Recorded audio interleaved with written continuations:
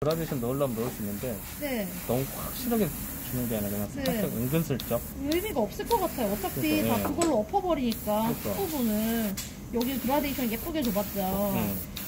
그러니까 그라데이션 주려면 머리카락 하나하나에다 다 줘야 거든요 아 그런 그런 짓을 해야 하는구나. 하려면 한데 귀찮아서 안 하죠 네. 아 그렇게 되는구나 얘는. 섹시한 거 30분? 30분 정도 싹싹 칠해주면 네네. 넣을 수 있긴 해요 가르마 있는 데랑 네. 머리카락 막 꼬부라진데 그런 데 이제 살짝살짝 아. 근데 그거를 또 싫어하는 사람들이 있고 네. 그러니까 왜냐면 모모 머리가 네.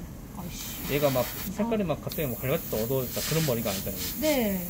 그러다 보니까.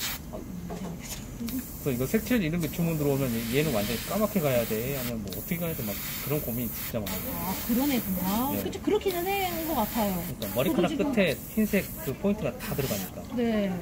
그러니까 그런 것 때문에 여기는 어떻게 해야 돼? 그냥 일단 다 덮으세요 다 덮어요?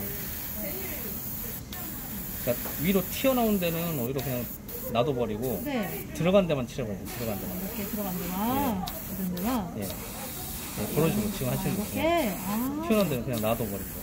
아 네. 색 차이가 이제 나게 되니까. 이렇게 이렇게?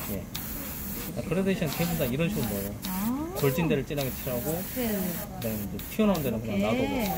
아 이해했어요 이해했어요. 이게 원래 그라데이션 색칠이 아니고 옆 그라데이션 색칠이라 하더라고요. 거꾸로 본다고 할수록 모르겠어요. 하고 들어가면 한도 끝도 없어요 이거는. 도료 막까지 보는데. 진짜 저 색깔에 맞는 그 맛이 나올까 막 이런 생각이 드니까. 음.